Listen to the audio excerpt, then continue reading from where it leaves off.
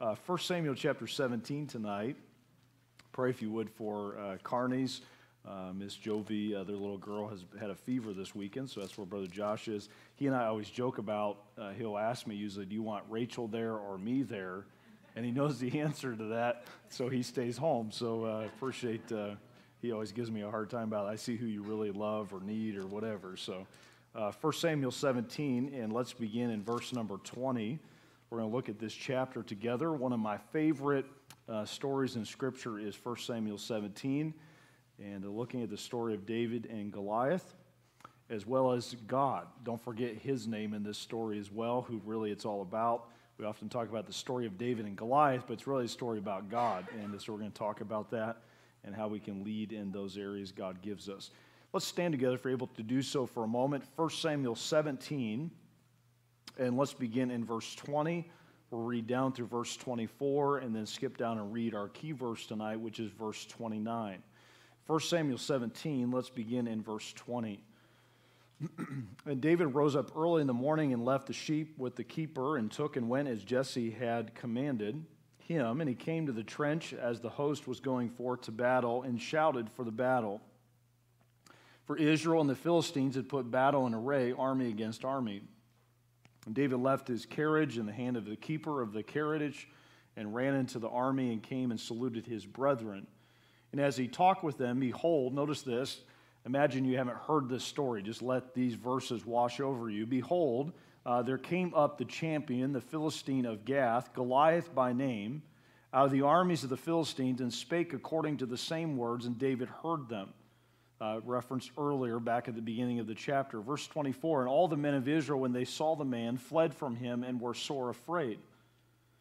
The men of Israel, uh, let's go down to verse 29. We'll come back to that verse in just a moment. And David said, What have I done? Notice this question Is there not a cause? So, tonight, for a few minutes, we want to look at this subject the cause of influence. The cause of influence. Let's pray and ask the Lord to help us. Father, thank you tonight for the joy it is to be here. Thank you for these that are here, um, Lord, who value uh, gathering together under your word and allowing your spirit to um, teach us, to apply your truth, and to transform us uh, more fully into the image of Christ. I pray that would happen again tonight. I pray, Lord, it would happen not just to us, but through us to those that we influence. Help us, Lord, tonight to see the focus, the tenacious faith and focus of David. And Lord, to stack up to it our own leadership where it falls short or where it needs to grow. And Lord, to uh, develop more of a purpose, more of a cause in our leadership. And uh, Lord, I pray it would transform us, it would impact those that we lead and serve. And just help us tonight as we listen to your word and to your spirit. Bless this time in Christ's name. Amen. You may be seated. Thank you the cause of influence. The other day I saw a picture I thought was hilarious. I don't know if you've ever seen somebody where you're like, where did they get that outfit? They didn't get the whole outfit at the same store because it clashes or it doesn't match. My mother would describe it as a loud outfit. That's the word she always would use. We would laugh about that as kids. It's a loud outfit. But this picture I thought was hilarious. Not just the picture, but the caption. I don't know if you can see it, but it's a guy with camo pants on and then a, you know, like those like uh, safety vests to help you see somebody. Somebody said in response to this, does this man want to be seen or not? He's got camo on, but he's got his hazard vest on. Can I just say as we begin this evening, leadership influence is not for those who want to hide, it's not for those who want to blend in. It's for those who want to, in a marked way, stand, stick out so that God can do something in their life. And not in a weird way, not in a strange way, but in a distinct way for the glory and honor of God. And in our day, too many are trying to lead from a position of safety, from a position of blending in where God has called them to be distinct. Now, can I just say this as we begin? A key statement, you may want to jot this down in your notes. A position of influence is not the end, but the means to a divine cause. A position of influence is not the end, but the means to a divine cause. So, that premise that a position of influence is not the end, but it is the means to a divine cause means that the, leader, the leader's focus is not on his position or her position, but on the purpose for which God has called them to lead. Um, in your parenting, It's not, I am the parent, and you will make my life easy as the parent in this parental child relationship, even into adulthood. It's about how you can serve me or what you can do for me. As a parent, there's a purpose in this relationship. And as the leader, I'm always trying to remind those that I influence of that purpose, remind myself, remind them, so that the relationship accomplishes God's purpose. Same thing's true in the church. Too many churches exist for the benefit and aggrandization, if you will, or promotion of the people that lead it.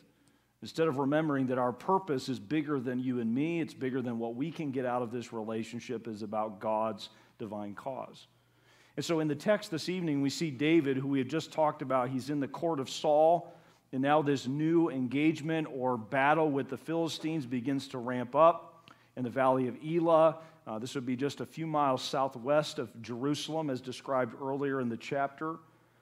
And basically, what happened is they get together as armies and they realize that, that this battle is going to be devastating. And so instead of just immediately colliding, um, the Philistines put forth their strongest, most powerful, intimidating man, which is Goliath, and asked the Israelites to do the same. And so David steps into this situation in the text that we just read. So let's talk about tonight two human hindrances that we must overcome and we overcome them by remembering the cause. There are certain things that hinder our leadership. They would be human kind of uh, friction or resistance to our influence and testimony. That, that the cause of God helps us to overcome um, these sources of hindrance. All right, number one, let's spend a few minutes uh, in the chapter that we began with the hindrance of human opinion. The hindrance of human opinion. Did you see that romaine lettuce took a bit of a hit this past week? Um, if you ate salad at your family gathering, your family may not love you. If you missed that story, um, you're supposed to throw it all out. And it's amazing to me how um, people get all worked up. I'm not saying you should have kept it. I'm just saying I'm amazed how quickly uh, something is spread or something is verified or even proposed, and everybody abandons or everybody discards something that is shared by another. Um, the other day, I heard someone say this in reference that I've been avoiding salad for years. Now who's laughing? Ha ha ha, you know? Yeah. See, I was right all along. It's healthier to avoid salads. Uh, but I think oftentimes we avoid things in our leadership simply because of the opinion or perception of another. Now, I don't know if you thought about this, but if you were to do an exit interview with David of what discouraged him the most in this chapter, I don't know if it was Goliath. Long before he ever got to Goliath, he had to get past the opinions and the hindrances of those that should have been his allies. You find that in your leadership? Those that should be with you often provide the greatest source of discouragement. So a leader has to remember the cause to persevere through those seasons of difficulty or resistance or opinion from often places that greatly discourage us. Let me give you two ways in which the divine cause helps us to overcome some things in the area of opinion. Number one, first of all, I need to allow the divine cause to help us overcome opinionated criticism. Opinionated criticism. If you will, go back to the text and look at verse uh, 23. I'm sorry, verse 24. So they all flee, they're sore afraid. Verse 25, and the men of Israel said, Have you seen this man to David? Um, that has come up. Surely to defy Israel is he come up, and it shall be that the man who killeth him, the king will enrich him with great riches, will give him his daughter, make his father's house free in Israel. David spake to the man that stood by him, saying, What shall be done to the man that killeth this Philistine and taketh away the reproach from Israel? For who is this uncircumcised Philistine that he should defy the armies of the living God? And the people answered him after this manner, saying, So shall it be done to the man that killeth him. Now, notice verse 28. And Eliab, the, his eldest brother, this would be David's eldest brother that member um, Samuel saw and thought he was to be the next anointed king. When he spake unto the men, and Eliab's anger was kindled against David, and he said, Why camest thou down hither? And so we see that David has to overcome some criticism uh, before he can accomplish all that God has called him to accomplish. Let me give you two areas in which we receive criticism through the opinion of others that we have to focus on the cause to overcome. Number one, criticism with anger. You see that Eliab, it says there, his anger was kindled against David. Um, why Eliab was angry with his brother, I'm not sure, but I could suppose that it was probably out of jealousy or who is this young upstart in the family. In fact, you see that Eliab in this text belittles David's age His task, and what I find hilarious as a brother, how many sheep he oversees. How petty. Did you notice that? How few your flock is. Isn't that typical family dynamics? And you don't even, you're in charge of sheep, and there's not even very many of them. That's kind of the tone of Eliab toward his brother. And this anger um, that oozes out of him toward uh, this sincere young man trying to be what God wanted him to be. I just remind you this evening that a leader consumed with the cause of God will always bring conviction in the hearts of those who are not about that cause. And I believe you see in Eliab the, the challenge that's before him as his brother brings to bear the right spirit and commitment to God, and it brings and cuts deeply the conviction into his heart. And so don't allow others who know you best to belittle your desire to be a part of God's big plan. Um, stick with it, stay with it. Don't allow their criticism with anger um, to dissuade you. All right, notice the end of verse 28. He says this Why camest thou hither, and with whom have you left those few sheep in the wilderness? There's the, the condescension. I know, notice this I know thy pride, the naughtiness of thine heart, for thou art come down that thou mightest see the battle. Number two, not only criticism with anger, but criticism of motives. Criticism of motives. Have you ever had your motives questioned? You're even doing the right thing, but someone else seeks to hinder you or discourage you by questioning your motives. A week ago, we had baptisms at the baptism service at the Days Inn, um, not today, but last Sunday, and uh, I don't know if you noticed, but there was a gentleman with his, I think it was his son or family member that were in the pool when we first got there. I don't know if you saw him or not. And then they kind of got displaced by the crowd to the hot tub in the back.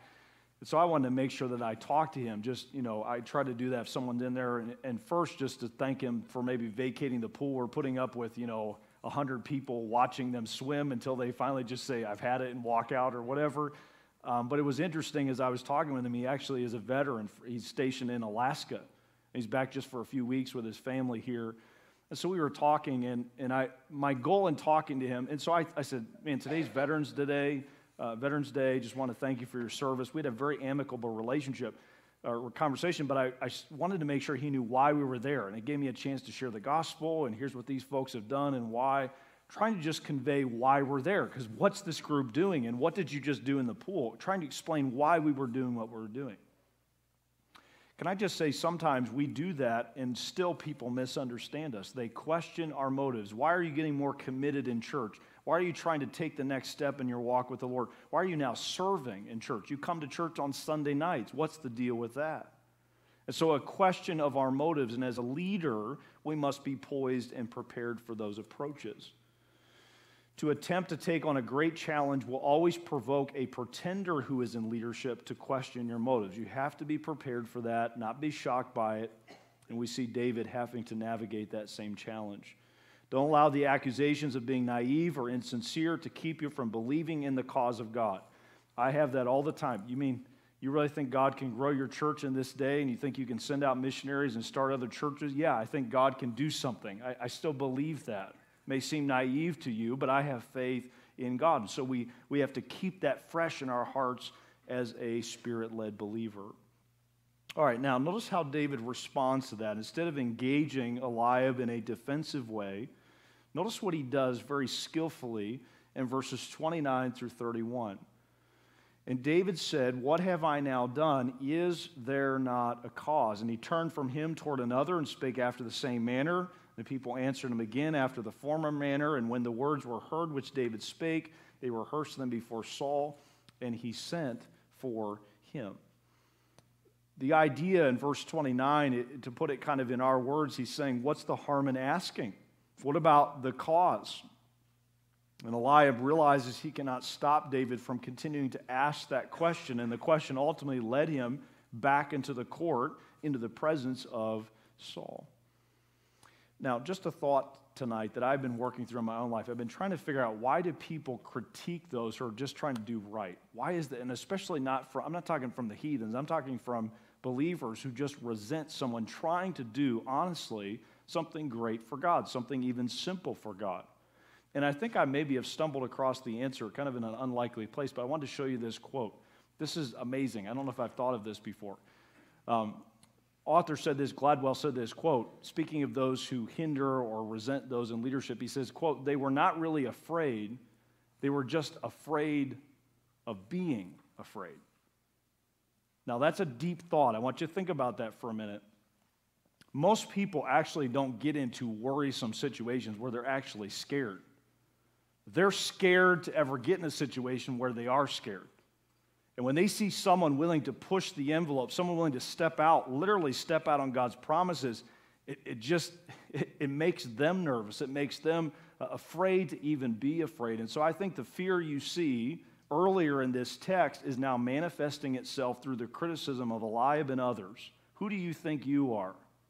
Because they were afraid of even being afraid. And I think a lot of the criticism that we have is nothing personal. It's just seen as a threat. It's seen as something that brings discomfort to someone else, and we must see it at face value for what it is. All right, number two, if you will, go back to our text to verse 32. And I love how this story unfolds as God's plan is unveiled and he chooses a man to represent him in this battle. Look at verse 32. David said to Saul, Let no man's heart fail because of him. Thy servant will go and fight with this Philistine. And Saul said to David, Thou art not able to go against this Philistine to fight with him, for thou art but a youth, and he a man of war from his youth. Number two, allow the divine cause to overcome not only the opinionated um, cons- uh, criticism, but number two, the opinionated doubts, those who doubt us. The cause of God helps us to push through those conversations and relationships that bring doubt uh, to bear. Can I give you two of them that are found, found here? Two manifestations of, of these doubts that are overcome as we focus upon the cause. Number one, jot this down David is doubted, and we are doubted in the area of experience. And you see that in verse 32 and following. Saul says, Thou art not able to go, thou art but a youth. He is a man of war from his youth. He has experience that you do not have. Doubts in the area of experience. David tells uh, Saul, don't, don't let your heart fail. Don't worry, I will do uh, the task. And yet you see this dismissiveness on the part of King Saul. All right, let's go on. Verse 34. And David said unto Saul, Thy servant, notice this, kept his father's sheep. There came a lamb and a bear and took a lamb out of the flock, and I went out after him and smote him and delivered it out of his mouth. And when he arose against me, I caught him by the beard and smote him and slew him. Thy servant slew both the lion and the bear, and this uncircumcised Philistine shall be as one of them, seeing he hath defied the armies of the living God. David said, Moreover, the Lord hath delivered me out of the paw of the lion, out of the paw of the bear. He will deliver me out of the hand of this Philistine. And Saul said to David, Go, and the Lord be with thee. So you see verses 34 through 37 that David trusts in a God who had proved in himself in the past, just that God had helped him with these other animals, these ferocious animals. God would help him in the battle that was before him. I have found one of the ways that I'm able to counter the doubts others sometimes direct at me as a leader is to remind myself not of what they see, but what I have seen with God in days gone by, how He has proven Himself. One of the things that I love about all of us in this room is we have a past with God. We have a history with God. We have a history that shows that God is able, God is powerful.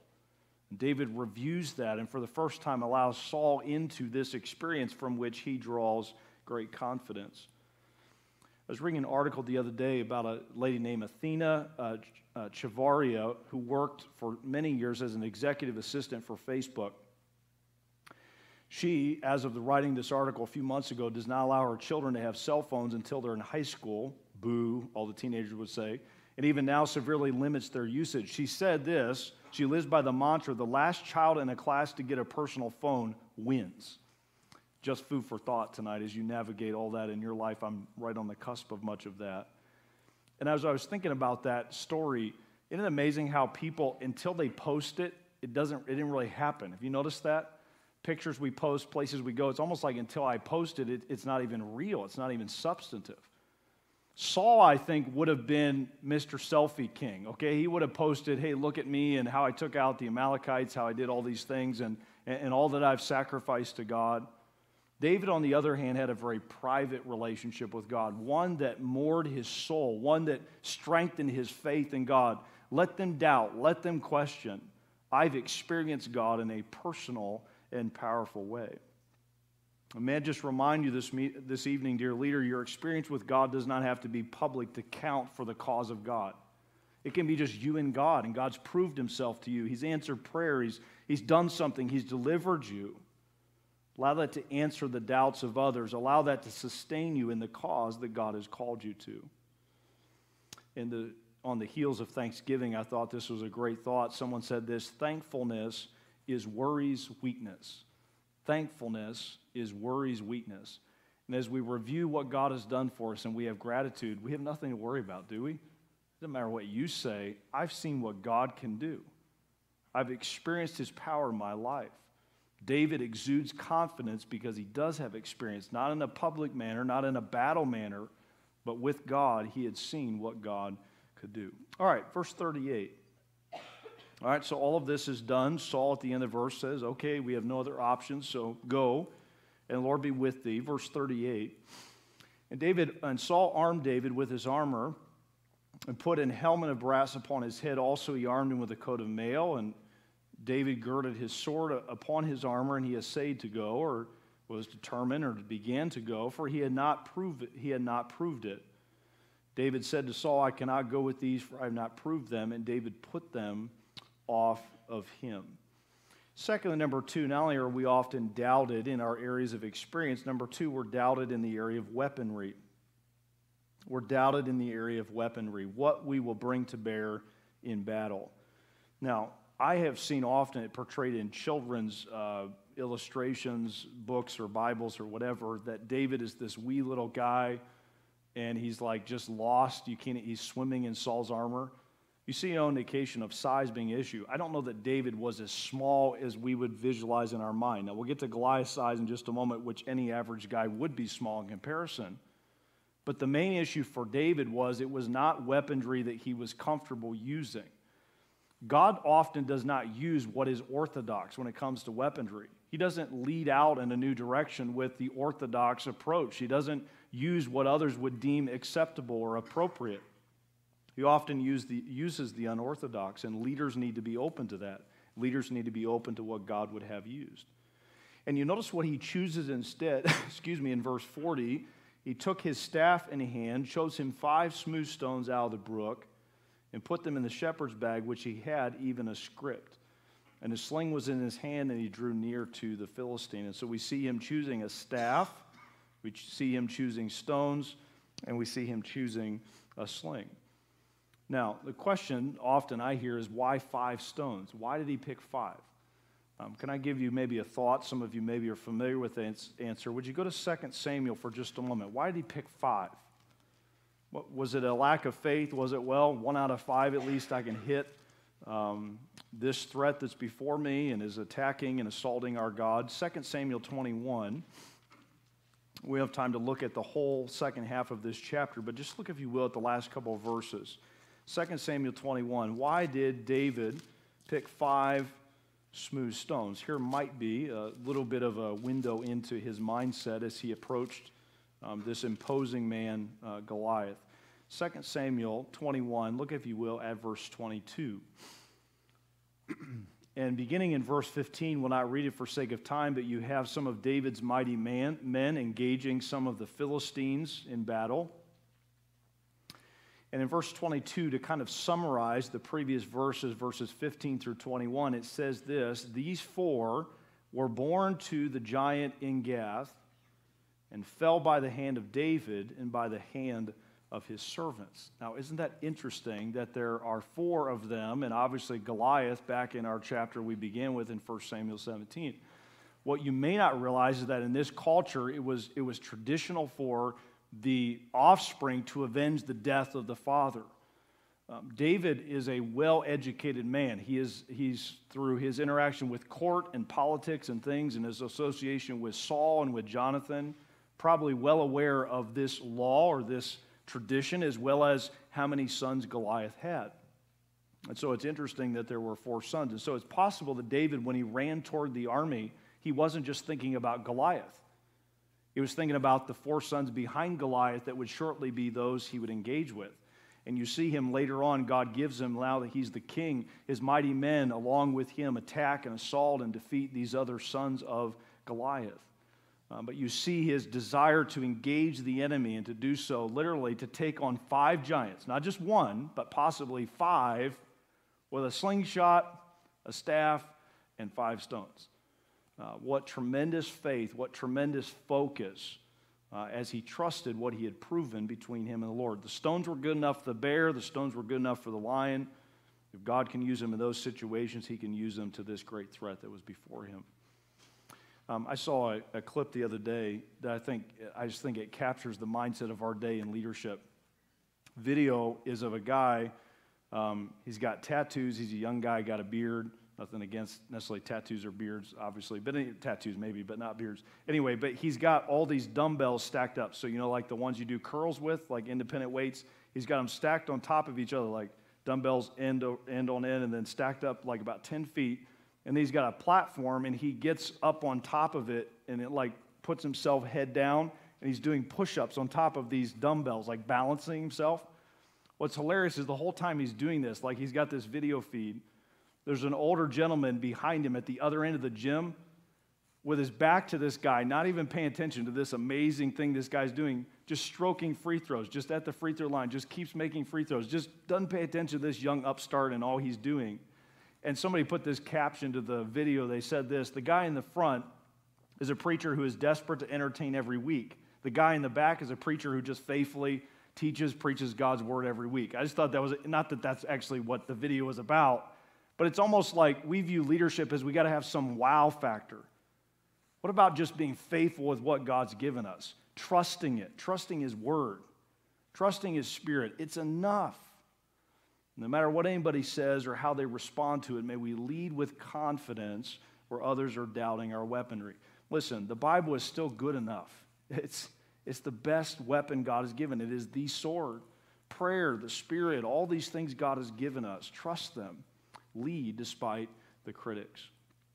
The way to be a part of a big victory for the cause of God rarely involves some new, flashy technique or technology. It's just faithfully sticking by the tried and true ways that God has revealed to us. Now, we're going to get to the specifics, but David began alone, did he not? Nobody believed in him. Nobody stood with him. Even Goliath, the big Goliath that was before him, had an armor bearer. David was alone. Are you willing to be that? Want to be that kind of leader because of the cause of Jesus Christ. All right, what's the second hindrance that David had to overcome? That he did so by focusing on the cause that we should as well. Go back to our text in 17 of 1 Samuel, and let's look at verse number 4. All right, let's go back. Let's rewind just a moment to kind of set the context for now this engagement, this dialogue, and the defeat of Goliath. 1 Samuel 17, and let's begin in verse number 4. and there went out a champion out of the camp of the Philistines named Goliath of Gath, whose height was six cubits and a span.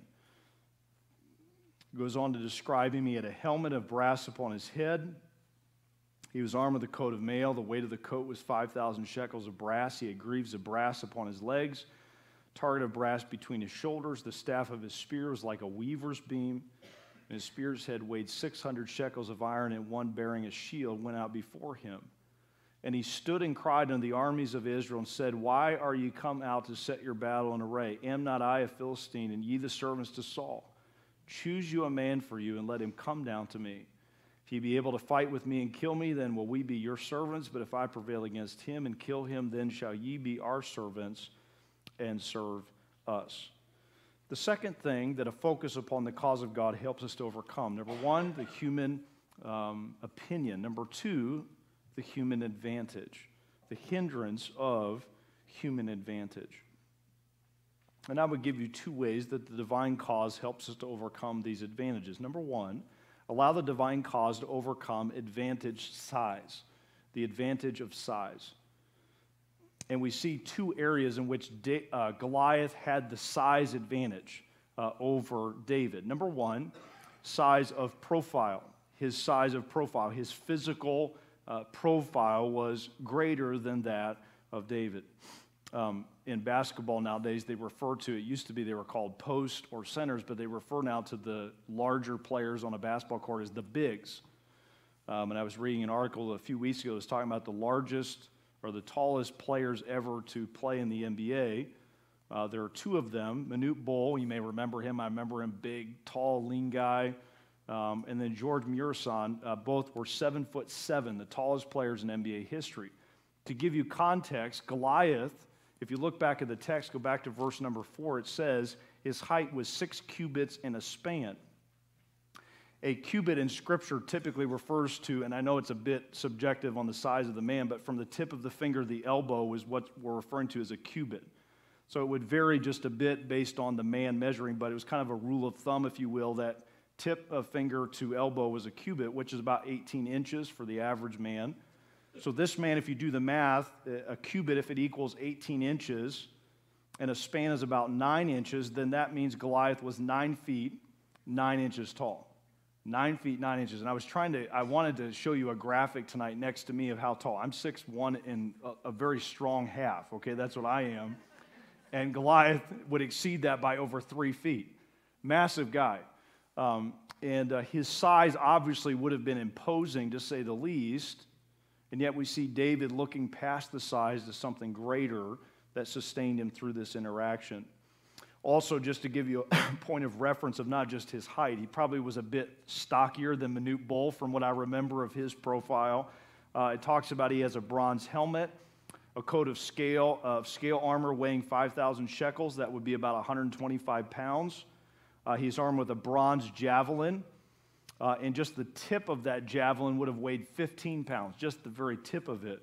So massive uh, armament that this man had on him that he easily carried into battle. Um, can I just say this by way of application in the area of size or profile of our enemy that often intimidates us? Those who lead for God look past that posturing, they look past those props, and they see what God can do. They anticipate that God can take on any, any enemy, no matter how large. By the way, big profiles attempt to win. This is key tonight. Big profiles tend to try to win in the perception realm. Goliath was trying to win without ever raising his spirit. He was trying to intimidate. You know the greatest asset of those who possess a greater size? The problem that you're most scared of this evening, the thing that intimidates you most about life and your walk with Christ and your leadership, is not substantive, it is perception. And what Goliath was relying upon is he was trying to put out this perception that would intimidate and overwhelm the Israelites, and they would cave and they would surrender long before the spear was raised. And so, those who battle and those who engage for the cause look past that perception and see what God could do if they're willing to engage in battle. It's very likely, just a thought, it's very likely that Goliath himself had not been involved in hand to hand combat for years. His sheer size and mass won the day. He, he never had to engage. His size alone would intimidate the enemy. And so, can I encourage you this evening? A leader looks past the props, a leader looks past the profile and sees the potential of what God can do if we will see through the engagement period to give God a chance to work in that otherwise sizable challenge. All right, not only did he have some physical profile that would have been a bit sizably uh, to his advantage, go to verse 41. All right, later on, we see now this interaction between David, probably a guy um, of average height of that day, whereas we see this Philistine towering above him. And notice a second, a second area in which he was disadvantaged, David was inside. Verse 41. The Philistine came on and drew near unto David, and the man that bare the shield went before him. Or his shield was so big that a guy, that was his job, was literally just to move the shield uh, verse 42 and when the philistines looked about and saw david it's almost like he looked around like this and then looked down. That's at least what's in my mind. He looked about and then oh yeah there's somebody beneath me here. And saw david he disdained him for he was but a youth and ruddy and of a fair countenance. And the philistine said unto david am i a dog that thou comest to me with staves or sticks and the philistine cursed david by his gods. Verse 44 And the Philistine said to David, Come to me, and I will give thy flesh and the fowls of the air and to the beasts of the field. So we see size first in profile. Number two, jot this down size and ego. Size and ego. David did not have a large ego. David did not have a, a, a profile that was intimidating. He was not arrogant, and yet we see the size of the ego of this man that God is about to reduce. Now, because man looks on the outward appearance, remember we talked about that a few weeks ago with David when Samuel came and he anoints David when God says to him, Man looks on the outward, God looks on the heart. If man looks on the outward, then what that means is for those of us who are the least, from man's perspective, possess the greatest opportunity for God to get glory. The disparity between David and Goliath actually created a margin in which God's glory could be manifested. That if Israel had a Goliath equal in weight and ego and experience, God couldn't get the glory he could get as he is about to do in the text. So David was uniquely qualified to counter this ego, to, to point the attention not at himself, but at the God who was about to bring victory. And you will notice in verse 43 that we just read that the Philistine cursed David by his gods. This was not a battle between David and Goliath, was it? Uh, you have to know this as a leader. I find often as a leader, it's very tempting to engage where it's me versus them or them versus me instead of this is my God, if I'm being faithful to his cause, versus the gods that are deceiving or misdirecting this individual or in this situation. And so it's a war of gods, it's a collision of deities. And leaders see that, and leaders see past all of the posturing and the ego and the arrogance of the enemy um, that is around us. Those who lead, even when, it, when they're at a human disadvantage, recognize that the true enemy is spiritual and that ultimately the attack is not against them, but it is against the Lord. Uh, I think we have time. Go to Ephesians for just a moment. Let's bring this into the New Testament context. Ephesians 6. Probably you thought of these verses, but let's look at them for just a moment. Ephesians chapter 6, and let's look at verse uh, number um, 10. Ephesians 6, let's begin in verse 10. He says this this is Paul speaking to the church at Ephesus and admonition to us as a local New Testament as well, uh, church as well. Finally, my brethren, be strong in the Lord and the power of his might. Put on the whole armor of God that you may be able to stand against the wiles of the devil. Verse 12, here it is. For we wrestle not against flesh and blood but against principalities, against powers, against the rulers of darkness of this world, against spiritual wickedness in high places. And so we wrestle not against flesh and blood, but against uh, principalities, powers, against the rulers of the darkness of this world. Now, just a thought before we move on. Ultimately, the size, I'm sorry, ultimately, Goliath's strength was derived by everyone in this story until David, their focus on flesh. Is that not true? Goliath's strength came from the fact that Saul and everybody else with him cowering in the tents, and even the Philistines on the other side of the valley, the reason he had his imposing power and presence was because everybody in that valley was focused on what they could see and their evaluation of that flesh. Whereas David saw something different. As a leader, he saw the spiritual world. He saw the battle that was about to be fought, in which God in the spiritual realm always wins. And so his strength was only derived from the focus of everyone upon flesh. What if you, as a leader, got your focus off the flesh?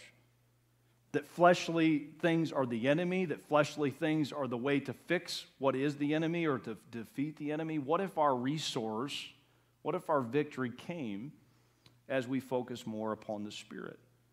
Without the cause of God dominating your focus, you will over time allow the critics, the haters to define and limit your leadership potential. David saw more because he saw more than just what he could see. Ultimately, the size of Goliath, from David's perspective, made him unmissable. That's how he saw it. He's so big, I can't miss. Um, and I think sometimes in our lives, we see the, the big targets, we see the, the big things, and we view them as a threat. We view them as the bigger they are, uh, the more imposing they are. What if the bigger they are, the easier they are to hit and to defeat through the name of our God? And so that's the perspective we need as a leader the hindrance of human advantage. All right, number two, go to verse 45. And just to warn you, the end of this story is a bit graphic. You know that, right? But I think that's good because it provides for us a clear, distinct picture of what God can defeat. Verse 45. Then said David the Philistine, Thou comest to me with a sword and with a spear and with a shield. But I come to thee in the name of the Lord of hosts, the God of the armies of Israel, whom thou hast defied. Now, I read that calmly, but I guarantee David, I don't know how he said it. I don't know if he said it with bated breath. I don't know if he screamed at the top of his lungs. I don't know if he thought, man, I'm outrunning my coverage here, but here we go. I'm going to say this anyway. I'm going to exude confidence. But he, he speaks, and he speaks with clarity.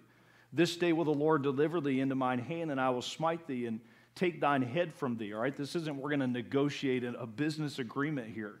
And I will give the carcasses of the hosts of the Philistines this day, and the fowls of the air, the wild beasts of the earth, that all the earth may know that there is a God in heaven. Number two, so we allow the divine cause to help us overcome the advantage of size. Number two, we allow the divine cause to overcome the advantage of knowledge. The advantage of knowledge. And you see that emphasis upon know, know, know in the text. K N O W. I don't know if you're like me. Does your brain ever scare you how forgetful it is? How um, often its perception is off? Um, Heidi and I were having a conversation the other night. She was talking about, I just can't remember what the name of things are. Um, and I said, Well, give me an example. She said, Well, you know those round orange things that we have on our porches around? Time I'm like, You mean a pumpkin? She's like, Yeah, that's it, a pumpkin. I'm like, You got to be kidding. You can't remember a pumpkin? So I was kind of laughing at her. Then uh, on Black Friday, I was out of the store uh, sitting. I, I had backed my car in, and there was a car beside me. I could tell he was about to leave. So I backed in as I was backing in, I don't know if you've ever had where your, your, your sense of the situation is off and then you interpret the data or sensory things around you wrongly. He started to back out, but it felt like my car was still moving. So I had the brake applied, but it, as he was backing out, I felt, um, uh, what's going on? You know, my brain just playing tricks on me. It's scary how often our brains let us down or misinterpret a situation. I think in this situation, not only did David feel like he was at a disadvantage on the brawn front, he probably also felt like he was a bit at a disadvantage on the brains front. He didn't know this situation the way Goliath did. He had never been in this situation before. And yet, God ultimately is going to prove himself despite the ignorance or the limited knowledge that David possessed. A leader, listen to me, doesn't have to know everything. A leader just has to be willing to trust God in every situation. You don't have to know it all. You just have to trust God. You have to believe that God will reveal His will, God will prove Himself, and we see that optimism, we see that faith in the heart and lips of David. By the way, where did the stone hit this man Goliath? The forehead, right? Emphasizes that. The head, the forehead, the face. And I believe God proved himself in this situation. Despite the experience up here of Goliath, David's faith proved uh, to be superior. All right, let's give you a couple things that knowledge that helps us in the area of knowledge when we focus on the cause. Number one, knowledge of battle. Knowledge of battle. In verses 45 through 47, you see David emphasizing knowledge. The end of verse 46, that all the earth may know that there is a God in heaven. Notice the beginning of verse 47, and all this assembly shall know that the Lord saveth not with sword and spear. He didn't know battle as well as Goliath, but God was about to reveal what David already knew that God was superior, that God would bring victory in this situation. Can you imagine the Israelites watching David take off toward Goliath and seeing this young, this youth, with all of his inexperience, going by faith toward Goliath? Um, what innocence, what sincerity, and yet, from their perspective, what ignorance. Yet David was proven, God, David was affirmed through God's power in the story. All right, verse 47, we read that verse. It says that, the battle, uh, that all the assembly shall know that the Lord saveth not with sword and spear, for the battle is the Lord's, and he will give you into our hands. Faith that's there. Go back to 14 of 1 Samuel. We talked about this earlier with Jonathan, but it's kind of the same feel as Jonathan. Remember that with the Philistine garrison? Go back to chapter 14 for just a moment and verse 6. This is how a leader thinks. It's how a leader is consumed with the cause of God and he can persevere when he feels that he's at a disadvantage on the knowledge front. 1 Samuel 14, verse 6. Jonathan said to the young man that bare his armor, Come and let us go over on the garrison of the uncircumcised. It may be the Lord will work for us. Notice the end of the verse. For there is no restraint to the Lord save by many or by few. And so, this same spirit of faith in God, that God can prove himself in a difficult situation. Leaders know that God's deliverance is just as viable when his people are at a human disadvantage. In fact, that is when he is most likely to show up, that's when he's most likely to prove himself. David fought that all the earth may know that there is a God and that he is worthy of worship. Um, I read an article the other day. The author said this. I thought this was a good question for us in our community and in our church. He said, Are you the kind of person, and is your church the kind of church about which others in your community may say the following? Quote, I don't share their beliefs, but I shudder to think about what this city would be without them are there things happening in our church or things happening in our lives that without them others would not sense or see what God can do? They wouldn't know our God, they wouldn't have faith in our God. David allowed others to know who truly God was. The Goliath of this chapter is mocking that God. David wants to make sure that he is getting glory through this situation. All right, lastly, look at verse 48, my favorite part of the story. Rather gruesome, but I think very significant in how God redeems this situation. Look at verse 48. It came to pass when the Philistine arose and came and drew nigh to meet David. I love this part that David hasted and ran toward the army to meet the Philistine. Don't forget that. He's not just running toward Goliath, he's running toward the backdrop of, of the, the armies of Philistia. Um, he, is, he is engaging, he is initiating um, in this situation. I was showing Heidi a video. Um, I think the boys too. Um, did any of you watch the National Dog Show? Was that on like on Thanksgiving Day or the next day or whatever? Our our our house is slowly going to the dogs, if you know what I mean. We have a dog now. We watch the dog show. But anyway, there was a clip in that of a man. The judge. You know how they judge dogs? It's the most. I, I, it's fascinating but weird. And whenever I watch it, and they're judging the dogs, and there was a guy holding. Did you see this? This little black dog, and the judge is having the guy do whatever the dog and the guy, that, the owner or the trainer, had a, a treat in his hand to kind of keep the dog's attention. And video footage caught that after the judge turned his head, the guy who had been holding the treat, instead of giving it to the dog, he ate it. He ate the treat. And it, I mean, this is on national TV. Like, that's so weird on so many levels. You know, I don't know what to say. It was just kind of one of those cringe moments. You know, with David, how was he so light footed in verse 48? he wasn't thinking about himself. He wasn't thinking about preserving his position. He wasn't thinking about his own survival. He was thinking about one thing. And it goes back to verse 29 Is there not a cause? And that cause is not self preservation. It's not what I'm going to get out of this, it's the cause of God.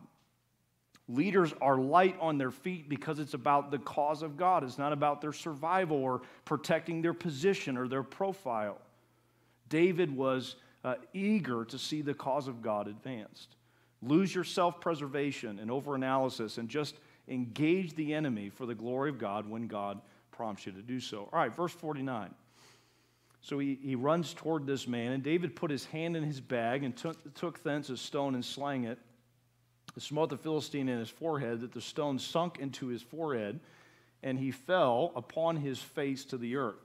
Um, and hopefully you know this, but it's very likely that the stone to the forehead did not kill Goliath. What we're going to get to in just a moment for sure did. If he wasn't dead in verse 49, but it stunned him, it dropped him, he was hit in the head, and then uh, fell face forward, as you see in the text. And David, uh, with God's sovereignty and God's plan, brought that stone to bear exactly where it needed to be. Now, David was probably skilled, but I bet God, I would guess that God was also involved in the trajectory of that stone. It went exactly in the the vulnerable place in this man's helmet and brought him uh, down upon his face. Uh, I think there's arrogance that's clearly given here. You see the Philistine, he hasn't even raised his spear. He's, he's, I think, a bit apathetic, and David engages the enemy, and God helps him to triumph as he's engaged in the cause.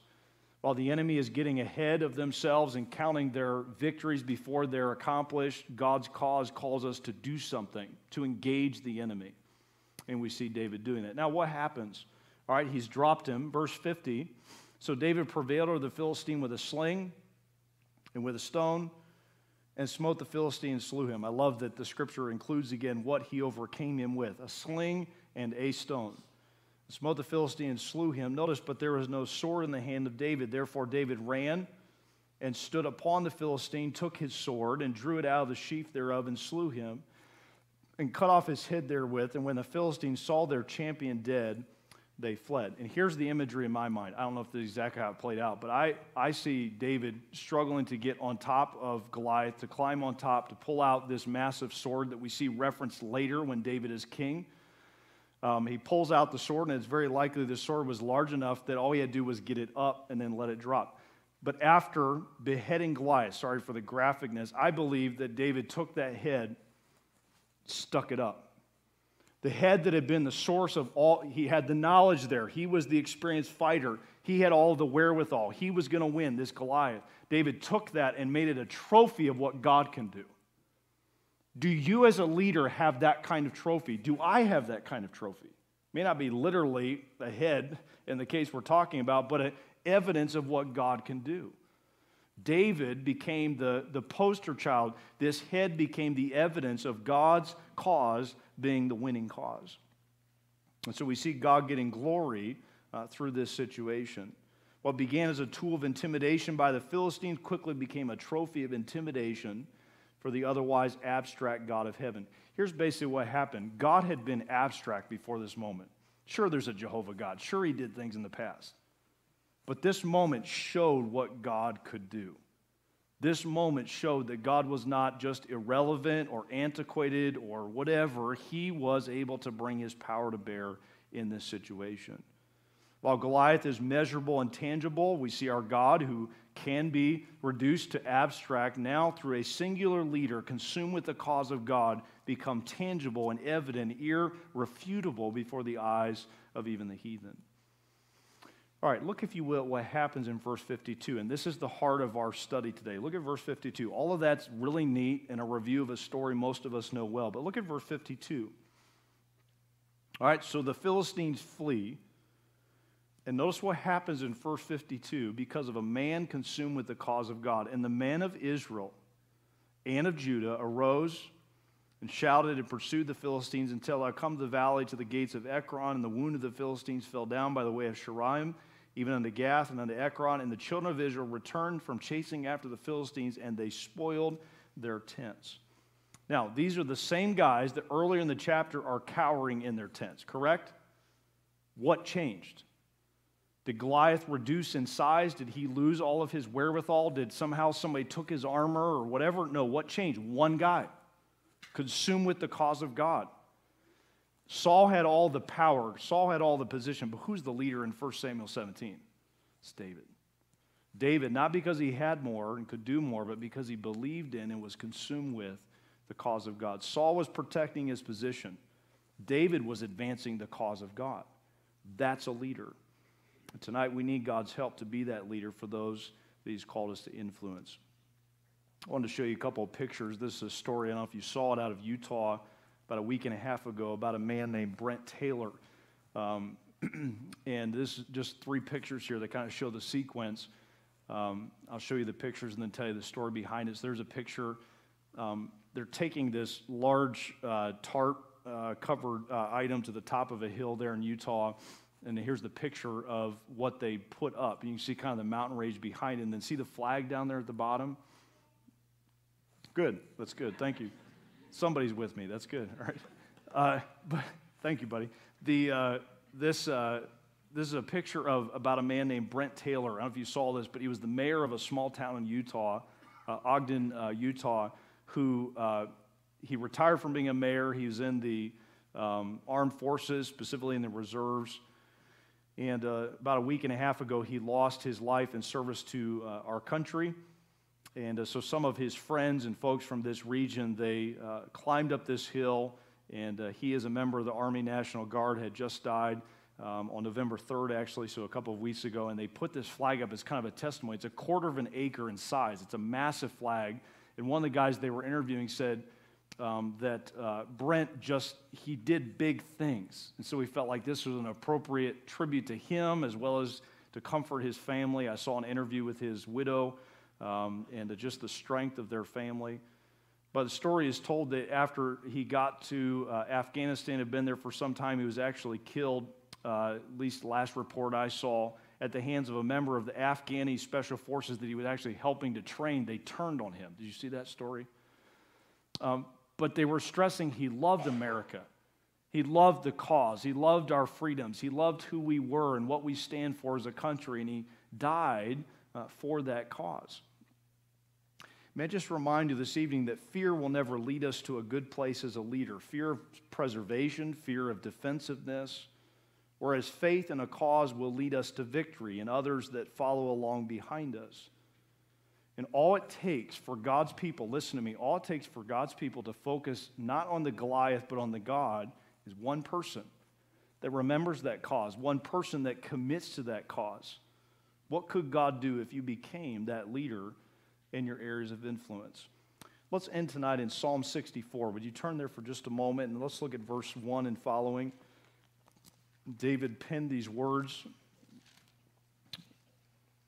sometime after the story we just read, but Psalm 64 Look, if you will, at a couple of verses in this short psalm Psalm 64.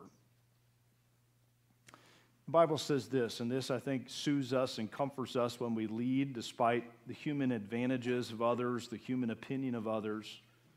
Hear my voice, O God, in my prayer. Preserve my life from fear of the enemy. Hide me from the secret counsel of the wicked, from the insurrection of the workers of iniquity, who wet their tongue like a sword. Notice that phrase, we'll come back to that toward the end and bend their bows to shoot their arrows, even bitter words, that they may shoot in secret at the perfect. Suddenly do they shoot at him and fear not.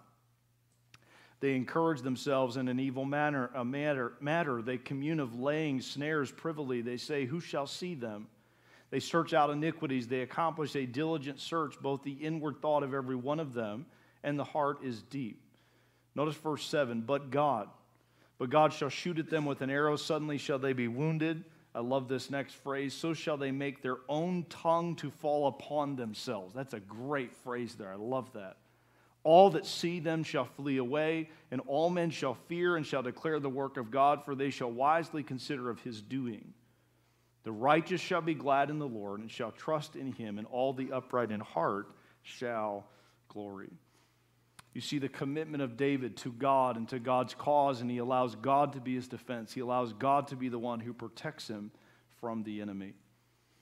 Here's the question as we finish tonight. I'd like you to think about it. Will you become more of a cause driven leader? Because if you don't, here's two things that will take you out. Number one, human opinion. As a leader, I've come to terms with that. Not everybody's going to understand, not everybody's going to appreciate, not everybody's going to agree if my leading is defined by what others think of me, I will not persevere in leadership. Same thing is true with human advantage. Well, we're looking at the numbers, and there's no way that we can accomplish this. There's no way that we can move forward in this area.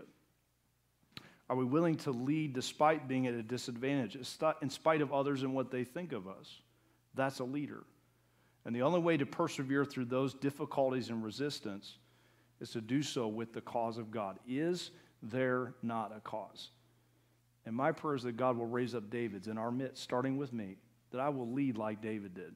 Take on the Goliaths and the sons of the Goliaths and make sure that I'm faithful until God calls me home. And would you be willing to do the same? Not just for your benefit, but for the army behind you that's lost their nerve, the people that have forgotten or unwilling to engage with the enemy.